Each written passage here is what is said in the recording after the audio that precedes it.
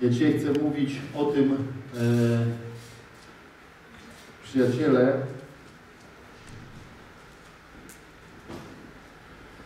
e, jak my słyszymy i jak widzimy duchowo jako osoby prorocze. To znaczy, chodzi mi dokładnie o to, abyśmy dzisiaj na tych warsztatach mm,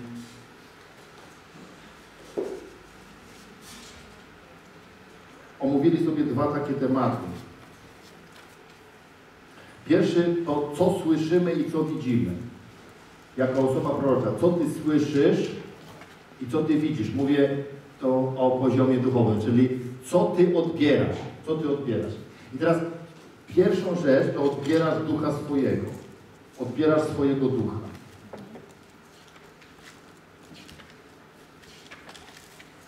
Po drugie, odbierasz swoją duszę. Po trzecie, odbierasz swoje ciało. Słyszysz i widzisz swoje ciało. Po czwarte, odbierasz duchową rzeczywistość. Po piąte, odbierasz demony.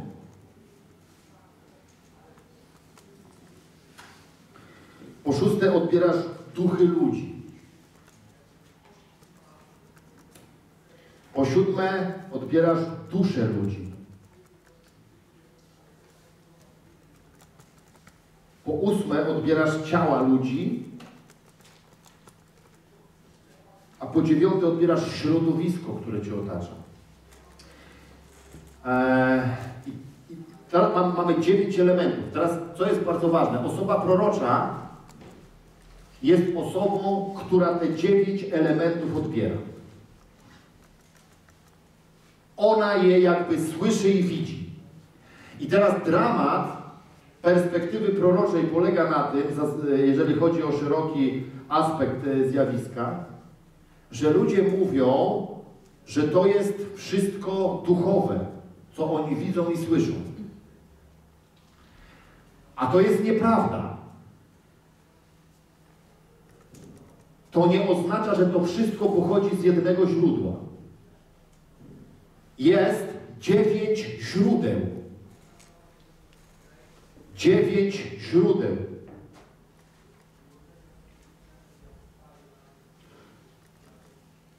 Kamil, powiedz Rafałowi i Agacie, żeby oni, żeby tam byli trochę ciszej, albo żeby na górę poszli. Idź im tam powiedz. I tam sobie usiądą.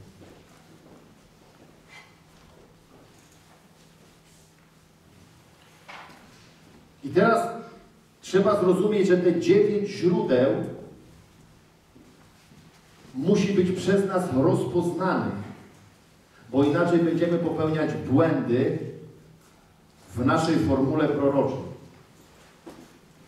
Ja bardzo dużo się spotykam, bardzo często spotykam się z tym, że ludzie tego w ogóle nie rozdzielają. Dla nich wszystko, co przychodzi do nich, co oni widzą czy słyszą, to jest albo Bóg, albo jakaś opresja, jak oni to nazywają, albo na przykład istnieje w świecie charyzmatycznym takie słowo odebrałem coś, odebrałem. Co to znaczy w ogóle? Odebrałem, odebrałam. A na przykład zobaczyłem, zobaczyłam. Ale co? Masz dziewięć przestrzeni, z których mogłeś coś odebrać. Dziewięć przestrzeni. Ja chcę pokrótce o nich w ogóle pomówić teraz, bo widzicie, o, dlaczego jest perspektywa prorocza jest najbardziej opresjon, inaczej opresjonowaną, najbardziej uwikłaną w problemy y, częścią królestwa.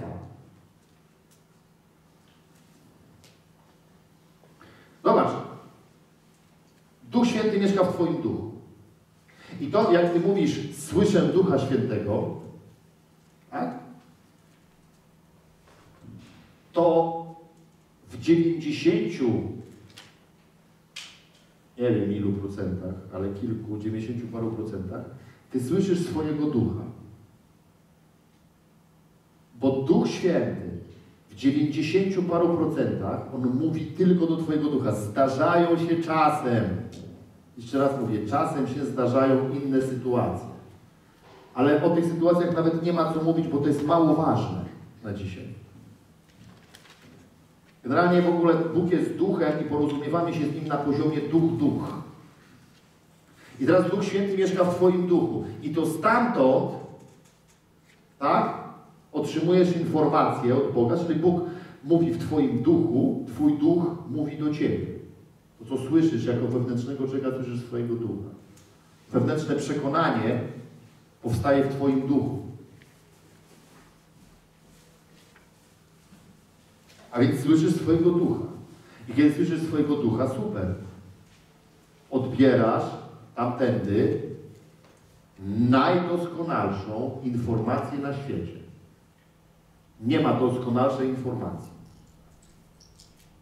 Wewnętrzne przekonanie to najdoskonalsza informacja. Jeżeli dodamy do tego inne formuły Boże, e, które, które temu towarzyszyć mogą, no to, to, to, jest super. Ale mamy też duszę. A więc możemy widzieć i słyszeć elementy naszej duszy. I teraz na przykład, pamiętacie jak ja na jednej z warsztatów powiedziałem, ogromnie ważną rzeczą u proroka to zdrowie psychiczne. Prorok musi być zdrowy emocjonalnie, bo w innym wypadku będzie widział i słyszał co swoją krzyczącą, potrzebującą czegoś duszę. I masa informacji pochodzi z duszy ludzi. I ludzie często do mnie przychodzą, ludzie proroczy i mówią, miałem taki sen, albo miałem w ogóle takie objawienie i on mi mówi to objawienie. A ja wiesz, znam tego człowieka. Wiem, co on przeżywa obecnie i wiem, że to, co on do mnie mówi, to nie jest duch, tylko to jest dusza jego. Rozumiecie? Bo jeżeli na przykład jest prorocza osoba, która boi się w tej duszy, ma takie lęki, na przykład ma lęki, ma, czuje się odrzucona, to będzie to, co, co, tam, co, co tam będzie krzyczało w tej duszy, w ogóle takie podprogowa informacja o tym, że Bóg tak się obraża na ciebie, że trzeba teraz tak dużo pokutować, że trzeba tak przepraszać go. Bo ona tak ma ta osoba. W tej duszy swojej. I ona nawet odebrała jakąś informację od Boga. Ja często na przykład słyszę, że osoba prorocza odbiera informację od Boga i tam jest taki czpień informacji, to jest bardzo prawdziwy.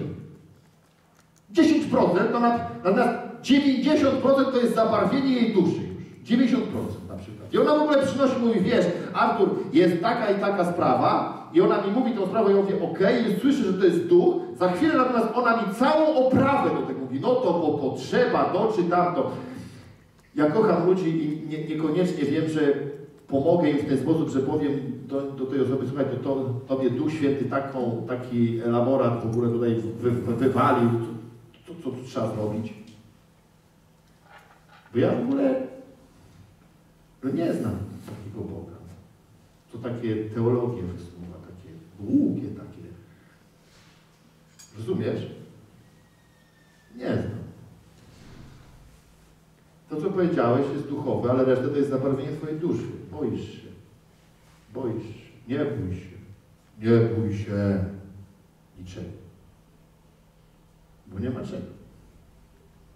Bóg jest dobry, diabeł jest cienki, a ja jestem miły.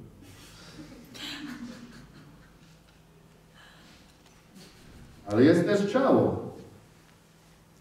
Jesteś prorokinią, dostałaś okresu. I już musisz brać pod uwagę, że Twoje prorokowanie będzie wykrzywione. No tak. Bo masz takie, nie inne stany emocjonalne. Bo ciało Twoje zrobiło tak, tak zadziałało. Rozumiesz? Jesteś w tej chwili o wiele bardziej wrażliwa, jakaś, no bo różnie tam jest, różnie tam, różnie jest z różnymi kobietami. Przepracowałeś się, tak? Dużo pracowałeś, ciało Twoje jest przemęczone, krótko spałeś, jesteś prorokiem. Ale to, co w tej chwili mi zaczynasz prezentować, tak? To jest krzyk Twojego ciała. Ile ja razy słyszałem proroctwa w ogóle, które były tak zabarwione ciałem, że się w głowie nie mieści. Ciałem. Ludziom czegoś brakowało, tak? To prorokowali o różnych brakach. Mówili o brakach, czego brakuje w Kościele. A wiecie o co chodziło? Że mają mało pieniędzy. Ale ich prorokowanie było o brakach. To trzeba umieć to zobaczyć. Straciłeś pracę, jesteś w miejscu w ogóle wchodzenia w nową pracę, rozumiesz? Jesteś zaabsorbowany tym zjawiskiem, Twoje prorokowanie, ono będzie tym zabarwione. Będzie zabarwione ciałem. Choruje ktoś na coś, na jakąś chorobę, odczuwa bóle jakieś. Rozumiesz? Jego prorokowanie będzie zabarwione tymi bólami. Taki to człowiek. Dalej. Słyszymy widzimy duchową rzeczywistość. To, że słyszymy widzimy duchową rzeczywistość nie oznacza, że my słyszymy Boży przekaz. To jest duchowa rzeczywistość. W duchowej rzeczywistości, tak jak Was uczyłem, jest wszystko. Tam jest wszystko. Wiecie, czym jest duchowa rzeczywistość? Jakbyśmy mogli to wszystko ogarnąć, tam jest naprawdę wszystko. Tam jest niebo, piekło, wszystko tam jest. To jest duchowa rzeczywistość. Tam jest czeluść. Tam są zarówno rzeczy świetlane, jak w ogóle śmietnik kosmiczny też. Rozumiecie?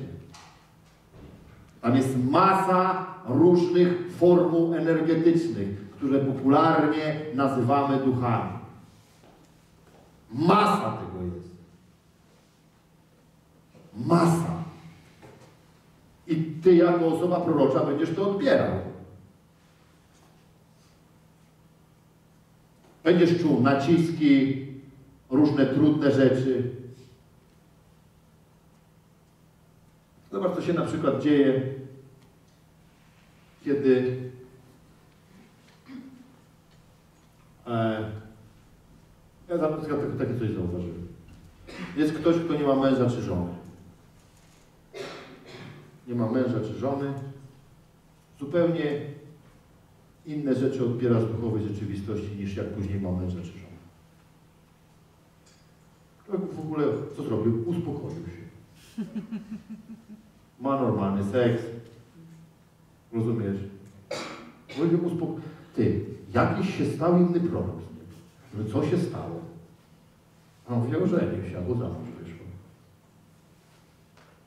Inne rzeczy zaczyna widzieć w duchowej rzeczywistości. Rozumiecie? Jest bardzo ważne. Zakocha się. A raptem otwiera się przed nią przestrzeń miłości w duchowej rzeczywistości. Już ona będzie opowiadała o tych rzeczach. Wcześniej opowiadała o wojnie. Jak miała okres, to o. To, ale to był prorok. Cały czas. To prorocza osoba była.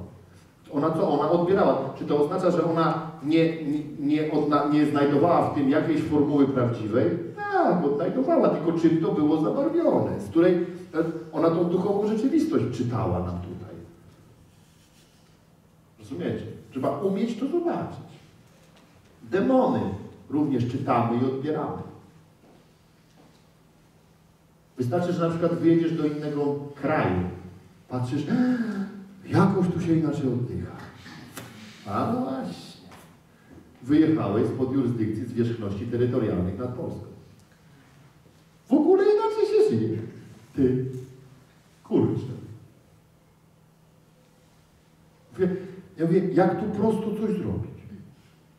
Jak tu w ogóle bez żadnego problemu. Wracasz tutaj, zjechałeś. O co chodzi? O demony chodzi. Często jesteś w środowisku pewnym, pracujesz w pracy, jesteś w takim, nie w innym miejscu. W tej pracy w ogóle przez cały czas odbierasz różne siły demoniczne z różnych stron. Twoje prorokowanie jest tym dotykane. Powstają w tobie formy obrony, zaczynasz walczyć. Rozumiesz? Będziesz osobą proroczą z tego miejsca, w którym jesteś. Duchy innych ludzi widzisz, tak?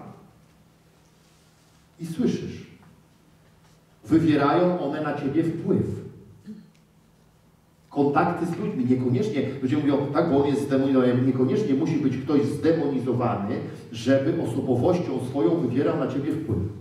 Są różne osobowości. Osobowość depresyjna, przebywanie, bo ostatnio modlę się o człowieka, którego, e, którego żona wiele lat była w depresji, jest w depresji i on w ogóle długo to wytrzymywał, ale w końcu po prostu zaczęły się u niego pojawiać symptomy depresyjne. No nie wytrzymał facet ciśnienia. Po dwudziestu paru latach w ogóle naciskania yy, w ogóle oso o, o, osoby zdepresjonowanej. Rozumiecie mnie? Są silne osobowości, przy których, jeżeli jest druga osobowość słaba, z niskim poczuciem własnej wartości, to może być prorok z poczuciem niskiej wartości, zresztą takich jest większość na początku. No taka jest prawda niestety. Nie wiem dlaczego tak to jest ułożone, ale tak to wygląda. Dopiero ci ludzie później się rozwijają i stają na nogi. Tak? Ale na początku większość proroków ma niskie poczucie własnej wartości. Ale jesteś wtedy w środowisku osób o silnej osobowości, i twoje, e, twoje w ogóle prorokowanie, ono jest jakby stłamszone. Masz, jak masz niskie poczucie własnej wartości, wokół Ciebie są ludzie o silnej osobowości i to nie są przyjazni Tobie ludzie, to się stłamszasz. Twoje prorokowanie będzie stłamszone. Bo oni wybierają wpływ. Rozumiesz? Ludzkie dusze, całe dusze będą wywierane na Ciebie wpływ. Ich zachowanie wszelka jakakolwiek forma zazdrości, pęd za pieniądzem, cokolwiek. Ciała ludzkie będą na Ciebie wywierały wpływ na Wystarczy, że gdzieś, ja, my będziemy chodzić na treningi, między innymi do galerii handlowych. I zobaczysz, jak na przykład w tłumie się prorokuje. Co się dzieje w głowie w tłumie. Tylko Cię nauczę skupiać się na tym. Zupełnie inaczej będzie będziesz funkcjonował poza tłumem, a inaczej w tłumie. Kiedy, kiedy wokół Ciebie będzie masa ludzi, będziesz się w ogóle o nich ocierał, zupełnie inaczej będziesz im postrzegał. Rozumiesz? Musimy takie treningi porobić. A będziemy też na miejscach, gdzie jest pusto.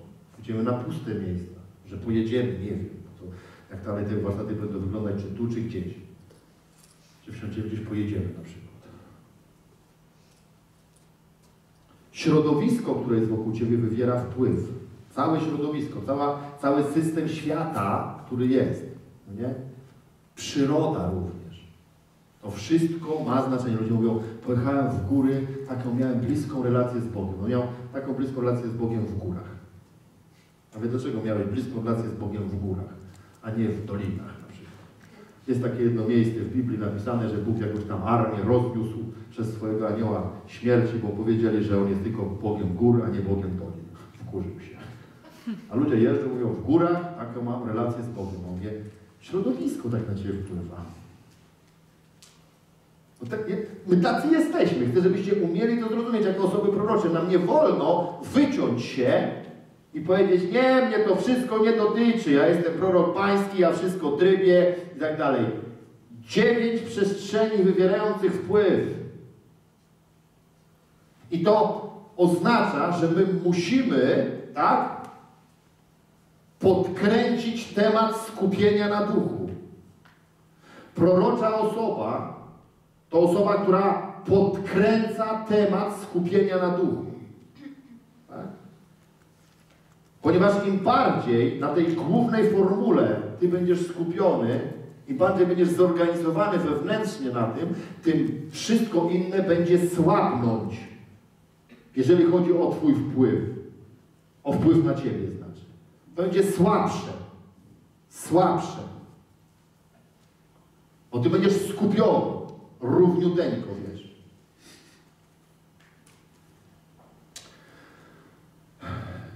I drugą rzecz, którą chcę Wam pokazać, to to, że są bardzo różne poziomy perspektywy proroczej. Bardzo różne poziomy. I teraz przede wszystkim nie wolno nam porównywać tych poziomów. Nigdy. Już w ogóle w perspektywie proroczej to w ogóle nie wolno porównywać poziomów. Nie wolno mówić, bo ten to jest taki prorok, a ten to jest inny. Bo ten prorokuje do narodów, a ten prorokuje do Henka z poczty. Rozumiesz o co chodzi? Bo ten to jest do, tutaj do kraju, a ten to do kościoła, a ten to w ogóle ma ciągle słowo wiedzy, a ja nic nie mam. A co ja mam? Nie wiem, co ja mam. W ogóle porównywanie się odpada. Z porównywania się pokutuje. Szczególnie w perspektywie proroczej. I teraz tak. Na przykład, ja Wam pokażę takich 13 elementów, 13 takich poziomów. I na przykład jest prorokowanie na poziomie urzędu. Jest poziom urzędu. I ktoś, kto jest urzędnikiem, on zupełnie inaczej będzie prorokował, tak? Inaczej, inaczej będzie prowadził perspektywę proroczą niż ktoś inny. O tym mówiłem już wcześniej, że prorok, a osoba prorocza to są różne konstrukcje. Inaczej, to są różni ludzie. To jest coś innego. Prorok to jest urzędnik. I prorok, na, czyli prorok, czyli urzędnik Boży, on zupełnie z innego poziomu uwalnia perspektywę proroczą. Na przykład, coś Wam powiem. Ja widzę takie rzeczy, że potem jak ja na przykład ja nie mogę yy, ja żeby w ogóle mógł przekazać to, co ja widzę, to ja muszę uczyć. Rozumiecie mnie? Bo ja tego nie przekazał. To jest nie do przekazania. To moje nauczania, one są proroczymi nauczaniami. Obojętnie o czym ja uczę, to ja uczę proroczo. Co ja robię? Ja pokazuję całokształt perspektywy zagadnienia. Zawsze. I dlatego ludzie łatwo to przyjmują, bo ja w ogóle, zanim ja puszczę samolot objawienia, to ja najpierw zbuduję całe lotnisko infrastrukturę. Wtedy sobie iść na lotnisko, wsiadę do samolotu. Rozumiesz, o co chodzi? Bo ja tylko tak mogę zrobić, bo to jest takie, ja widzę takie mankamenty, takie rzeczy, ja zbieram takie w ogóle informacje do siebie, że ja mówię, tylko tak to mogę przekazać. Jak na przykład ja cały czas siedział i mógłbym pisać, albo bym cały czas mógł głosić i to się by nie powtarzało w ogóle. Dlaczego tak mam? Z uwagi na urząd. Nie dlatego, że jakiś specjalny jestem. Ale takie coś mam. A ktoś ma inaczej. Inni prorocy na przykład mają, mieli zupełnie inaczej. Z drugiej strony, yy, albo to za chwilę. Dalej, na poziomie powołania widzimy i słyszymy na poziomie powołania, jakie jest nasze powołanie. No i tutaj znowu prorok, czy też osoba prorocza może mieć bardzo różne powołania. Bo czymś innym jest urząd proroka, czymś innym powołanie tego urzędu. Można być powołanym prorokiem na przykład do narodów. I będziesz oglądał wtedy, będziesz oglądał rzeczywistość tak? W potężnym spektrum. A można być na przykład prorokiem do narodu. I będziesz tylko do Polski prorokiem. Rozumiesz? A możesz być tylko prorokiem do kościoła w Polsce. A możesz być tylko prorokiem do tego kościoła tu na przykład. To jest powołanie. Powołanie. Bóg powoła, powołuje do czegoś, rozumiecie? I nie wolno nam mówić, bo tamten prorokuje y, do, do, do narodu amerykańskiego. A ja w ogóle nic nie wiem o narodzie amerykańskim. W ogóle mnie w ogóle... Nie, rozumiesz o co chodzi? Nie wiem o narodzie amerykańskim nic.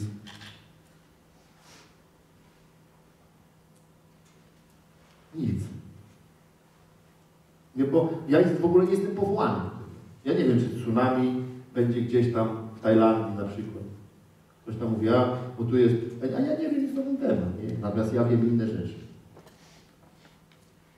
A ci prorocy nie wiedzą tych rzeczy, które ja wiem. Bo oni nie są powołani do tego kraju. Oni tutaj, jak niektórzy z nich przyjeżdżali, teraz już coraz mniej ich przyjeżdża, dzięki Bogu, rozumiecie, ale jak tutaj przyjeżdżali, tak, to oni opowiadali takie rzeczy, wiecie, jakie oni rzeczy opowiadali? No takie ja nawet nie umiem tego określić, jakie to rzeczy się opowiadały. Tak jakby, no nie wiem, na spotkaniu wąskonosych emerytów gdzieś. Rozumiesz o tym, że w ogóle, no, no nie wiem, no przebudzenie wyjdzie z Polski czy coś, no. Czy, nie wiem, no mi się nawet nie chce o tym mówić, w ogóle, sorry, no.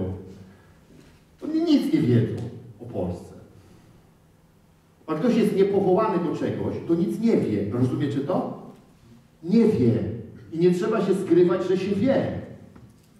Można powiedzieć, w ogóle mam dla Was, nie wiem, na przykład chcę się z Wami podzielić tym czy tamtym, ale nie, nie określa się, że, jest się, że się tutaj będzie rozpościerało perspektywę proroczą. Bo widzimy i słyszymy na poziomie powołania. Dalej widzimy i słyszymy na poziomie tego, co obecnie przeżywamy i doświadczamy. A więc to, co obecnie przeżywasz i doświadczasz, to z tej perspektywy prorokujesz. To jest bardzo ważne, żebyś to zrozumiał. Człowiek, który prowadzi biznes, on będzie prorokował, jest prorokiem, będzie prorokował z perspektywy prowadzenia tego biznesu. Bo on jest biznesmenem. On będzie widział różne rzeczy w zagadnieniach związanych z jego biznesem. On będzie czytał je z tego miejsca. Rozumiesz?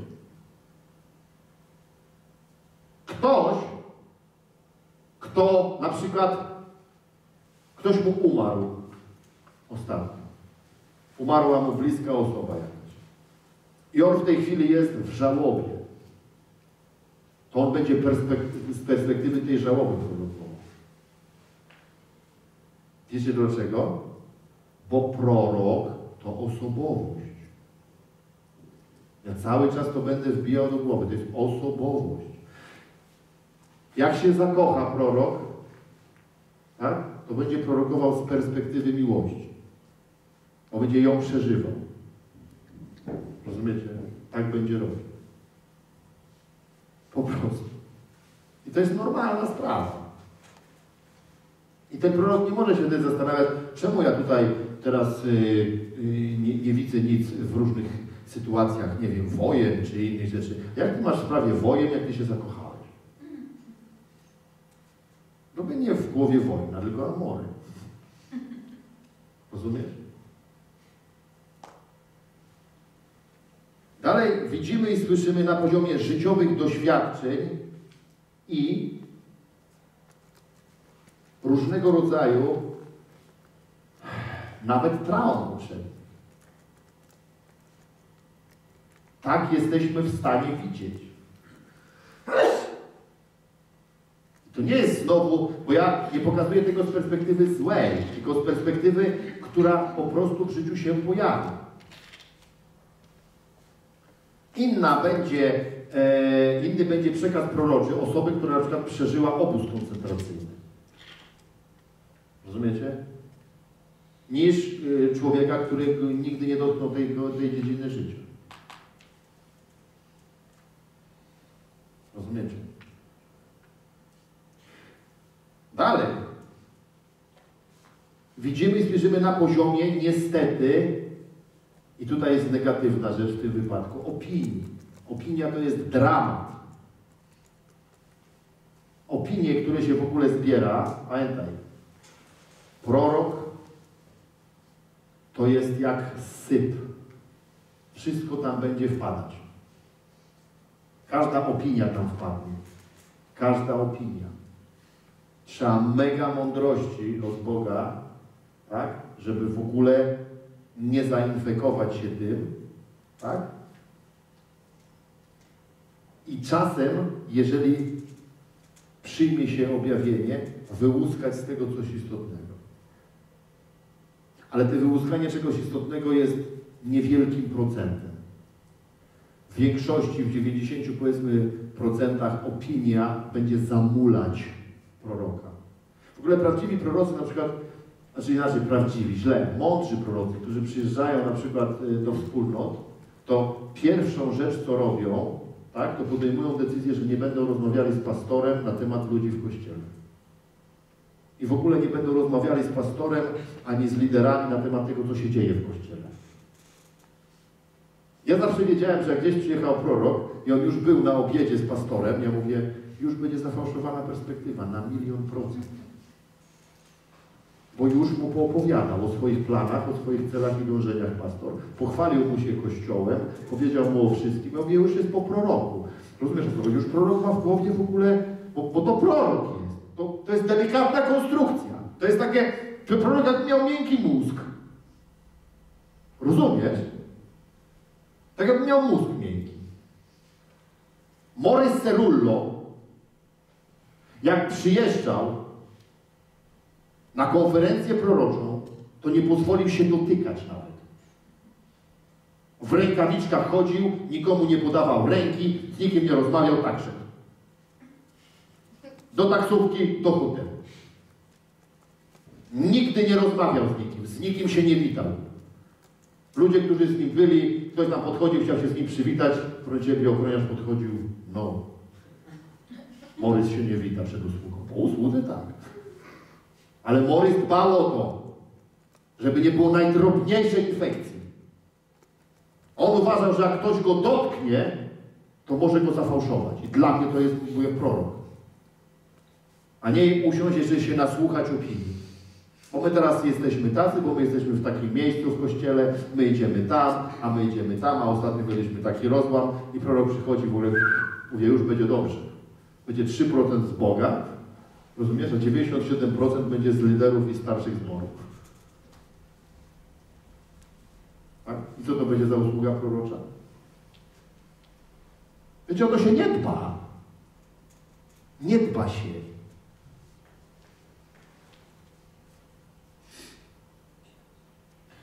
Dalej widzimy i słyszymy na, pozna, na poziomie poznania Boga. W ogóle tylko taki jest prorok i tylko taką perspektywę roztoczy, jakiego Boga zna. Jak on zna tyle, to roztoczy tyle. Co z tego, że on jest prorokiem? Tak? Jak on nie zna go. Ilu jest proroków w ogóle, którzy takie trzy po trzy w ogóle gadają, wiecie? A ja wiem, że to są prorocy, czy tam byli, no. no ale kurczę, jak on jest... No był taki jeden człowiek, nie żyje już, zginął tam w wypadku. Osobiście uważam, że to była prorocza osoba. Ale on znał Boga tylko tyle i uważał, że Bóg nigdy nie robi takich rzeczy z ludźmi, że ludzie mają dużo pieniędzy. I on tępił wszelkiego rodzaju przejawy w ogóle wzrostu finansowego i on tępił w swoich poselstwach wszelkie przejawy, na przykład manifestacji Ducha Świętego, których on nie rozumiał. On ich nie rozumiał, bo nie rozumiał Boga i nie rozumiał tych rzeczy. Rozumiecie? Jeden z najpotężniejszych proroków, który chodził od czasu apostoła Pawła po ziemi, William Branham, on był tak mało, on tak, tak płytko znał Boga, że się w głowie nie mieści. Wysnuł hipotezę, zresztą nie powiem tej hipotezy, bo idzie na wizję. Wysnuł bardzo głupią hipotezę. Ta hipoteza dyskredytowała kobiety. U niego w kościele miała swój kościół, kobieta nie mogła się nawet odezwać. Chyba, że była zapytana. Bo on uważał w ogóle na podstawie swojego poznania Boga, doszedł do wniosku, że kobieta to jest gorsze stworzenie niż mężczyzna. Bo to ona tutaj zrobiła ten cały przez nią jest i koniec. Tak? Wiecie dlaczego tak głosił? Takie było jego poznanie Boga, a też doświadczenie sprzed kilku lat, które miał. Kilka lat temu jego ukochana żona i córka zostały zabite przez powódź. Był samotny. Cierpiał. Potrafił to zrzucić, bo ona go opuściła. Był niezbyt dobrze wykształcony. Potem mu się trochę polepszyło, bo sobie drugą żonę wziął. Stał się trochę inny. Ale jego poznanie Boga było niewielkie. Rozumiecie? Niewielkie. Nie miał głębokiego zrozumienia. Ale był prorokiem. ale prorokował na poziomie swojego poznania Boga. Dlaczego ja tak prę na to, żeby poznawać Boga? Ludzie proroczy to nie muszą przejść na Boga. To nie tam, że on zna go trochę. Nie ma takich opcji. Dalej, widzimy i słyszymy na poziomie zaburzeń duszy naszej. O tym mówiliśmy, nie będę tego roztrząsał. Ale taka jaka dusza proroka, takiego prorokowania. Dalej, prorokujemy, słyszycie, nie, słyszymy i widzimy, bo tak będziemy to czytać, na poziomie nabytej kultury. Takiej kultury, której nabyliśmy do tej pory. Tacy jesteśmy. I my na tym poziomie, kiedy my, my z tego poziomu będziemy prorokowani. Nigdy nie będziemy, bo, bo kultura, ona nas, ona ogranicza nas do pewnych w ogóle formy. W ogóle ludzie, którzy na przykład dużo podróżują po różnego rodzaju e, krajach, doświadczają różnych, różnej e, formy kulturowej, e, a są to osoby prorocze, to się bardzo szybko rozwijają. Bardzo szybko. Nie ogranicza ich kultura. Rozumiem? Jest zupełnie inna kultura tutaj, zupełnie inna kultura e, w innym kraju, zupełnie inna na innym kontynencie. Ale kultura jest ogranicznikiem, bo z tej perspektywy my prorokujemy. Widzimy i słyszymy na poziomie nabytej wiedzy. Taka jaka wiedza jest nabyta, tak? To będzie stanowiło kanał przepływu duchowej rzeczywistości.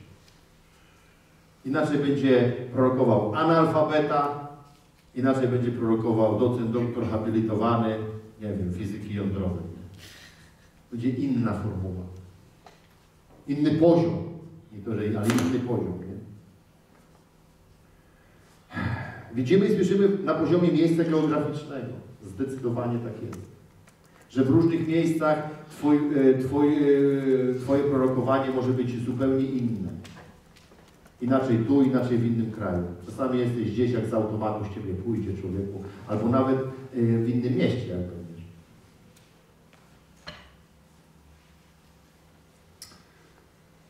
Widzimy i słyszymy na poziomie osobowości. I też są bardzo różni prorocy. O tym rozmawialiśmy wcześniej, ale przypominam o tym. Co osobowości prorocze, tak? Są bardzo różne. Są osobowości miłosne, są osobowości gniewne. Rozumiecie? Są osobowości pokojowe i osobowości wojenne. Rozumiecie? Są osobowości artystyczne, tak? I osobowości techniczne. Każda z tych osobowości jest inna.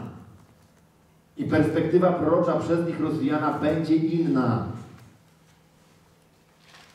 Tak jak pokazane jest w Starym Testamencie, jak różni byli prorocy.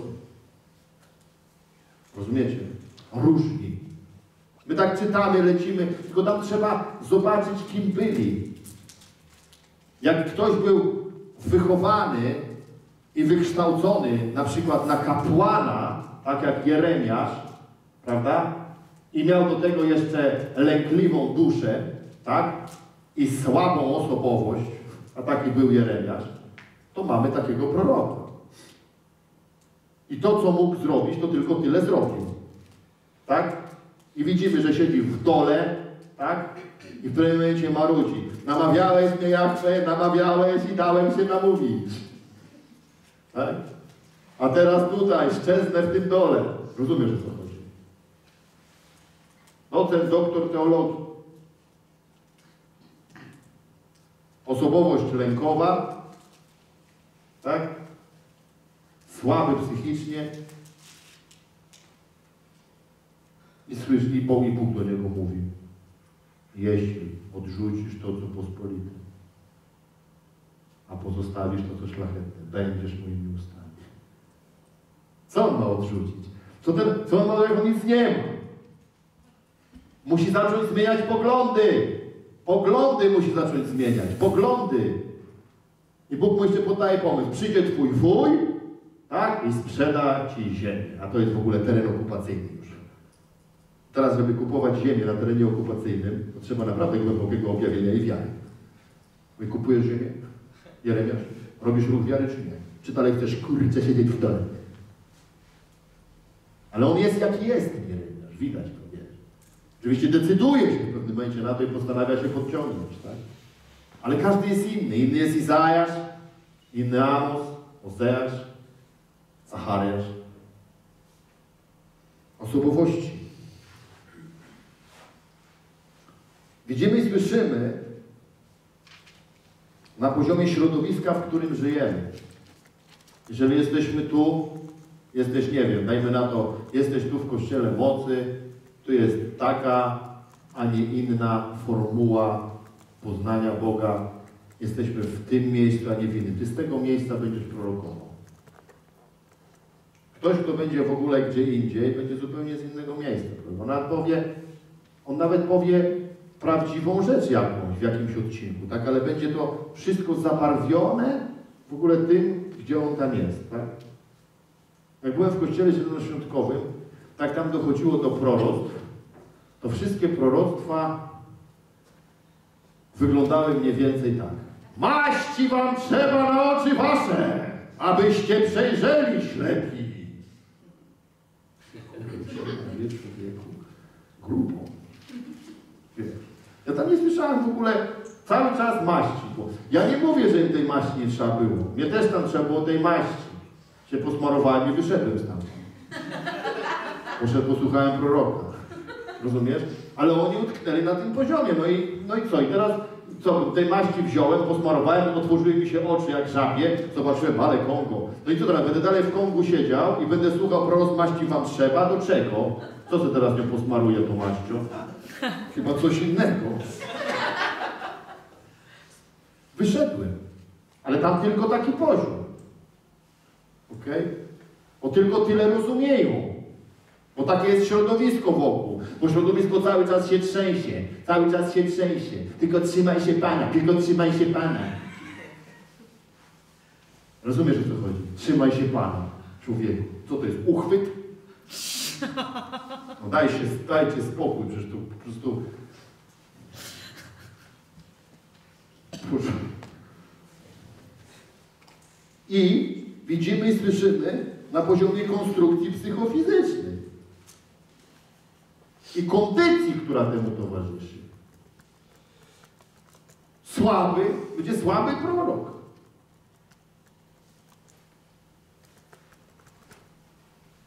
A krzywy? Nie. Pozdrawiam Ryszarda. Ja naprawdę uważam, że jesteś prorokiem. Chodzi o co? Chodzi o to, że nam nie wolno dać się zwieść. Jeżeli jesteś osobą proroczą, to ty musisz rozumieć te rzeczy. A mnie, wiecie, rozumiecie, prorok jest powołany, żeby wyznaczać kierunek. Jak mamy wyznaczać kierunek, jeżeli my sobie nie zdajemy sprawy z tych rzeczy? Że na przykład jest dzisiaj, mam dzisiaj taki, nie wiem, przemęczony jestem, jestem jakiś, prawda? Jak mogę nie zrobić założenia, że w dniu dzisiejszym moja perspektywa prorocza jest zaburzona poprzez mój stan fizyczny? Czy ja muszę zrobić takie założenie? Hegen, Kenneth Hegen, jak robił się y, słabszy fizycznie, bo był zmęczony, to przestawał usługiwać. Mówi, idę do domu. I szedł. Rozumiecie? Bo po, bo po co on tam miał być? On mówi, ja, jak jestem zmęczony, to namaszczenie przeze mnie nie płynie prawidłowo. To co ja tu będę robił robotę na pół gwizdka? Po co? To się tak nie robi. Idź się wyśpij. Tak? Jak było z Eliaszem? Eliasz mówi, zabiję mnie, ona mnie zabije, Jezabel mnie zabije, wszyscy mnie zabiją. Dopiero człowieku z nieba ściągnął deszcz, to nie padało tam te 3 lata, rozumiesz, modlitwą wiary, tak? Bieg 40 km na godzinę, bo rydwan przegonił, ja to sprawdziłem w internecie, ile ten koń tam biegł. 40 to jak był zmęczony. Rozumiesz? Ten przegonił ten rydwan, człowieku, rozumiesz? I potem do Boga mówi, zabije mnie i za mnie zabije i za mnie zabije. Bóg mówi, prześpij się.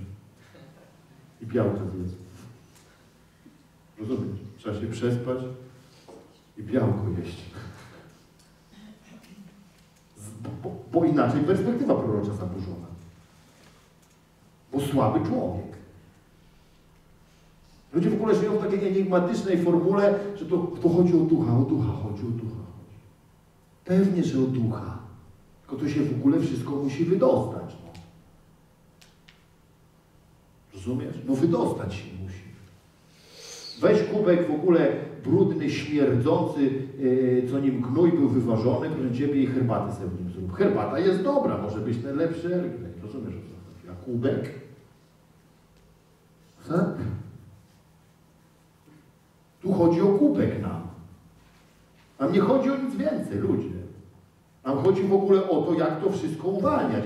I prorok musi być świadomy tego, że Bóg powołał go, Bóg w nim jest, on jest otwarty na to, przed założeniem świata został powołany na proroka, tak?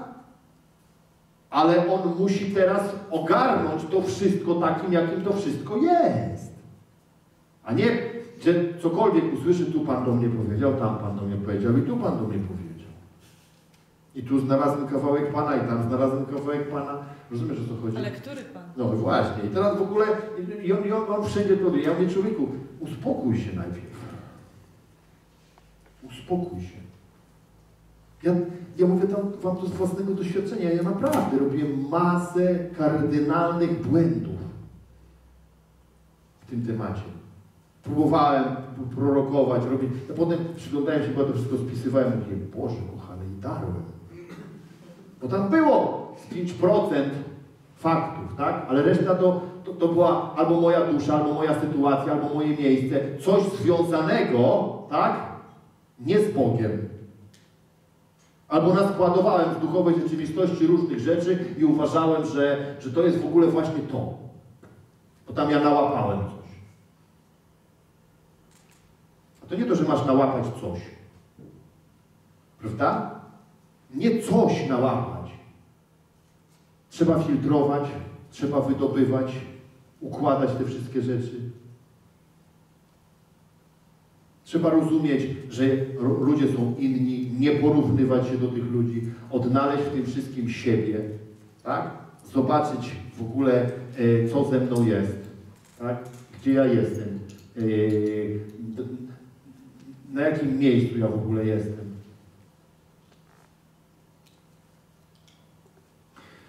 Wiecie, Ameryką dzisiaj rządzi biznesmen. I bardzo dobrze, Ameryką rządzi. Dlaczego ja uważam, że to dobrze? Bo ja lubię biznesmenów, mentalność biznesmenów lubię. Po pierwsze, dlatego lubię mentalność biznesmenów, ponieważ to biznesmen przyszedł po ciało Jezusa. Wszyscy zwiali. Duchowi wszyscy uciekli. Tak? Przyszedł biznesmen i powiedział, oddaj mi ciało. Dlatego lubię mentalność biznesmenów, bo mają wysokie poczucie własnej wartości, po pierwsze, a więc nie, nie stwarzają komplikacji. Rozumiecie? Yy, nie można ich urazić. O, tak to powiem. Tak? Są odpały jakieś, to można ich urazić, ale zazwyczaj nie można. Zdrowej mentalności biznesmena nie można urazić.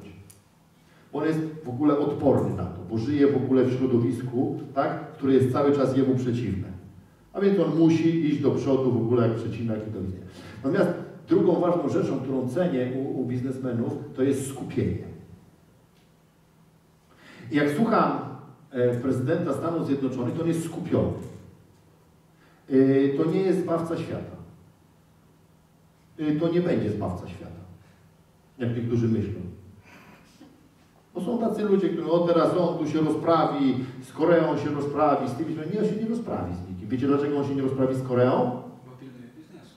Bo to nie jest, bo to nie jest proszę Cię, biznesowe. To się nie opłaca. Rozumiecie mnie? To się nie opłaca. To nie jest zbawca świata. Wiecie kto to jest? Stróż Ameryki.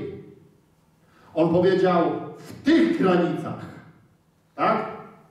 Tych granicach nie będzie terroryzmu. W tych granicach nie rozprzestrzeni się muzułmanizm. w tych granicach. Dlaczego? On jest skupiony. On wie, że nie jest do całego świata.